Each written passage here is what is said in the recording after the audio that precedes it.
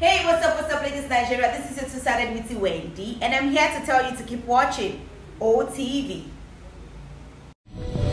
Thanks for watching OTV.